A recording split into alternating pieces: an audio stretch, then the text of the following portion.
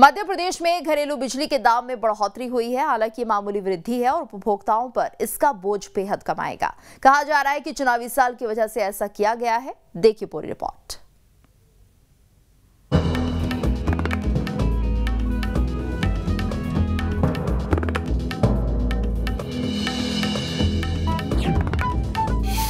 MP में बढ़े घरेलू बिजली के दाम।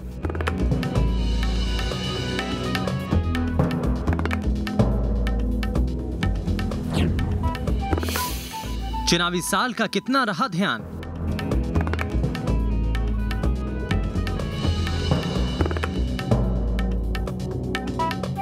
बिजली दर को लेकर चल रही अटकलबाजी खत्म हो चुकी है।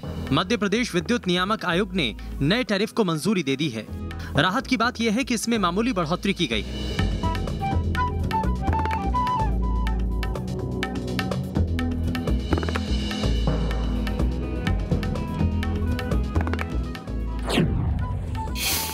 बिजली दर में छह पैसे प्रति यूनिट की बढ़ोतरी हुई है। 300 यूनिट खपत करने वालों को अड़तीस रूपए ज़्यादा देने होंगे। 200 यूनिट खपत वालों को पच्चीस रूपए ज़्यादा देना होगा।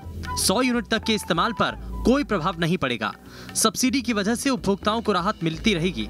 कृषि उपभोक्ताओं को 10 पैसे प्रति यूनिट ज़्यादा देने होंगे। यानी एक तरह से कहें तो बिजली दर बढ़ाने में सिर्फ़ औपचारिकता पूरी की गई है। उपभोक्ताओं का खास ख्याल रखा गया है।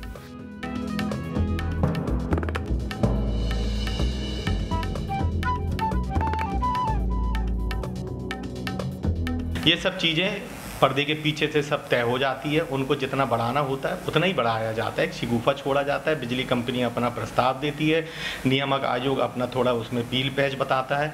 मुख्यमंत्री के द्वारा पहले ही से आदेश कर दिया जाता है कि इतनी दरों को बढ़ाना है ये पूरी एक नूरा कुश्ती आम जनता को, पब्लिक को दिखाने की होती है। जब से भारतीय जनता पार्टी की सरकार इस प्रदेश में, कभी भी आपने ये देखा हो क्या कि बिजली कंपनी की सिफारिश को ना माना गया हो? कभी ये आपने देखा हो कि नियामक आयोग ने पब्लिक के पक्ष में निर्णय लिया हो? कभी भी ये नहीं हुआ है। लेकिन लेकिन भारतीय जनता पार्टी की सरकार का फोकस बिजली कंपनियों पर रहता है, उनको लाभान्वित करने का रहता है। देखिए, बिजली कंपनी ने जो जानकारी दी थी कि 1500 करोड़ का घाटा हुआ है, अब उस घाटे कहीं ना कहीं भरपाई करने के लिए नियामक आयोग को उन्होंने तीन प्रतिशत की बढ़ोतरी करने का आग्रह किया था। चूँकि नियामक आयोग स्वतंत्र है, उसमें सरकार का कोई हस्तक्षेप नहीं होता, लेकिन जनता की सुविधाओं को ध्यान में रखते हुए नियामक आयोग ने, विद्युत नियामक आयोग ने उनकी बात को ना मानते हुए और मात्र 1.6 परसेंट की बिजली की बढ़ोतरी की है। तो ये एक बड़ी राहत उनकी तरफ़ से लोगों को मिली है और आने वाले समय में उन्होंने उन्होंने जो कुछ भी उसमें किया, उसमें भी हम लोग अपनी तरफ़ से प्रयास करेंगे। लेकिन ये आप भी जानते हैं कि नियामक आयोग एक स्वतंत्र संस्था है, पर मुझे लगता है कि बड़े एक राहत उन्होंने मध्य प्रदेश की जनता को दी है। आंकड़े बताते हैं कि पिछले साल की तुलना में महँगाई में 9.3 फ़ीसदी का उछाल आया है। लेकिन जो बिजली दर में बढ़ोतरी की गई है, वो सिर्फ़ एक दशमलव छह पाँच फ़ीसदी ही है। इतना ही नहीं, औद्योगिक श्रेणी की बिजली दरों में कोई बढ़ोतरी नहीं हुई है। कहा जा रहा है कि सरकार पर चुनावी साल का दबाव साफ़ दिखा है, क्योंकि अगर अभी ज़्यादा बढ़ोतरी होती तो उसका नुकसान होता, क्योंकि बढ़ोतरी से किसान और मिडिल क्लास के लोग ज़्यादा प्रभावित होते हैं। शायद इसीलिए सरकार ने कोई रिस्क नहीं लिया। देखिए विद्युत का झटका जो लगा है, वो तो लगना ही था। क्योंकि सरकारें जो हैं, अब इस बात को समझ ही नहीं पा रही हैं कि उनको करना क्या है। और सबसे बड़ा मध्य प्रदेश में दुर्भाग्य ये है कि इस टेक्निकल चीज़ में विद्युत जैसी टेक्निकल चीज़ के मालिक जो हैं, सभी नौकरशाह बन के बैठ गए हैं।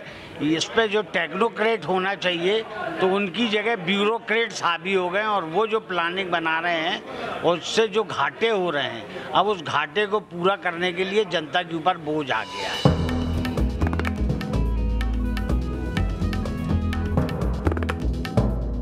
अब आपको ये भी बता देते हैं कि आखिर कितनी यूनिट के इस्तेमाल पर कितना भार आएगा।